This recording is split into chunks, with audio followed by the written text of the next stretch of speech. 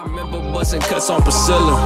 Nickels, dimes, doves, need an eighth, half ounces of killer, man. These niggas used to sleep on the nigga. But a couple seasons changed and I came through colder the winter. I look at Shorty, got me stuck on the figure. These bitches knock you off track, keep your mind on that money, that skrilla. A couple homies gone, fall out the picture.